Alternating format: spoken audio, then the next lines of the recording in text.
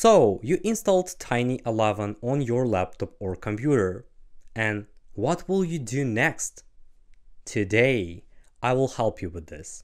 The thing is, even after installation Tiny 11, you still need to do some simple steps and after this process, your system will work stably. On the internet, I saw a lot of comments how to install drivers, how to install browser because after installation you will not see any browser because Microsoft Edge browser is not installed by default in Tiny 11. For people who don't know, Tiny 11 is based on original Windows 11 Pro ISO file. So literally it is the same Windows 11 but they remove a lot of Windows components and even now it must work faster. Before this video start, please like it and don't forget to subscribe to my channel, it will help me a lot.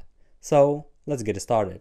My friends, we are in Tiny 11.22H2 version. If we click on the start menu, here you may see Microsoft Store, Photos, Settings, Calculator, Notepad, Paint, and File Manager. Everything is very simple, we have only few apps. I think it's not top secret information that this is Windows 11 but without trash. So first of all, I recommend to go to the settings and check for the latest updates. You need to find Windows Update here, click on it. So definitely I recommend to check for the latest updates. It is very important. After you get the latest updates, I recommend to do next. You need to find this section, privacy and security. You need to click on it and we want to check if the Microsoft Defender is activated. So for this you need to click here. Then you need to scroll down a little bit and find manage settings. You need to click on it. It is Microsoft official antivirus and it is installed by default. So be sure to check all of this option.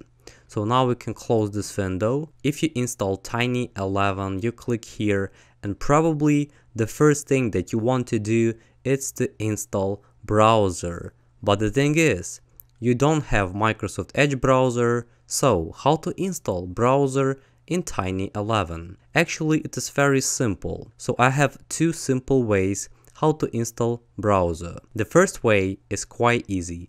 We just need to click on the Microsoft Store. Don't be afraid if you don't use a Microsoft account.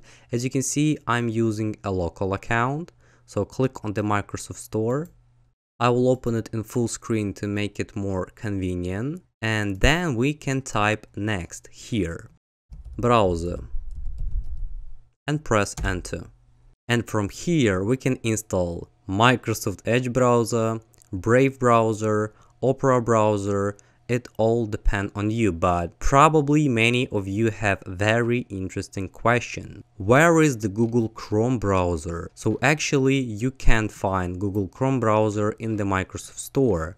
But I will show you one interesting method to install Google Chrome browser using terminal. So for this we need to close this window now I will open quite useful text document.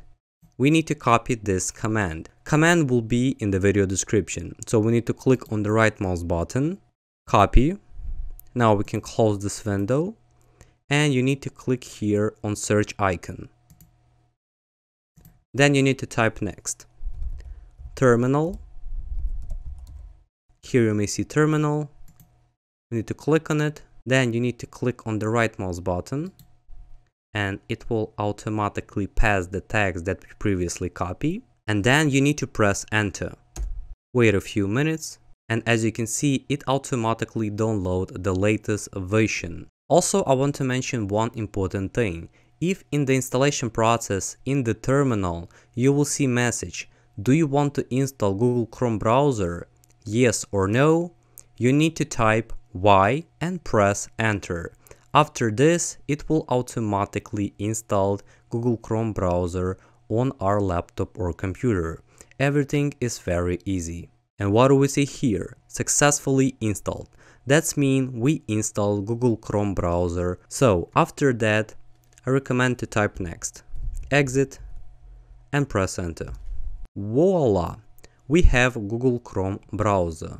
So now we can open it and here you may see that we have the latest version. Okay, and probably the last and the most important thing that you need to do is to check if all drivers is installed. So for this another time we need to click on the search icon, click here and we need to type next. Device Manager. Need to click on it. Actually we can use two simple ways to install drivers on your device. So first method, we can try to update drivers. You can click on the missing driver, then click on the right mouse button, select update driver and click here. Search automatically for drivers.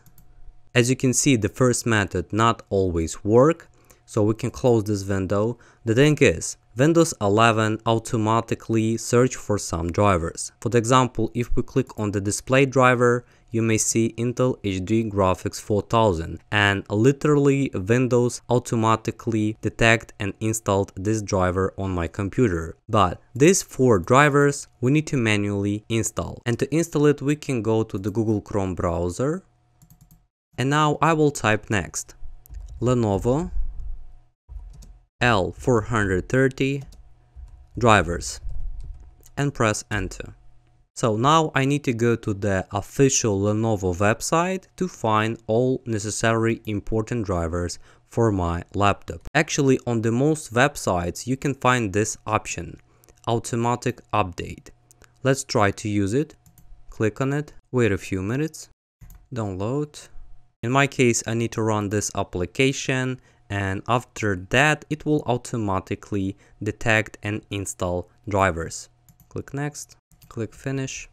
I want to be honest with you right now I'm showing how to update automatically and now I also will show you how to manually install the right drivers for your model. Also it will be much better if you enter the serial number of your laptop. My friends as you can see it installed all necessary important drivers and now I don't have any missing driver. But if you still see the missing driver, you can try to manually install driver. For this you can select this option, manually update. Also I want to remind you that I use unsupported laptop so it will be much better if I chose Windows 10 64-bit. But if your laptop or computer support Windows 11 officially, you can just select Windows 11 and find the right driver. If you have a PC, you can do the same process, but you need to enter the model of your motherboard. So you can type ASUS motherboard drivers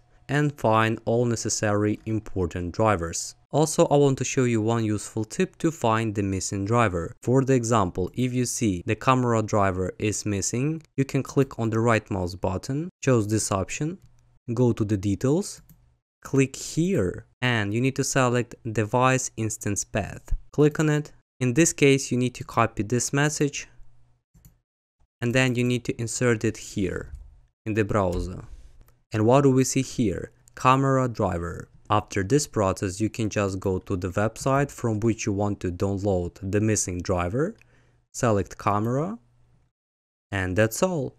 You can download the missing driver. My friends, I think it will be more than enough for today. So guys, if this video was useful for you, please like it and if you want to know how to run Tiny 11 from your USB stick, literally it is portable Windows 11, I recommend to click here on this video.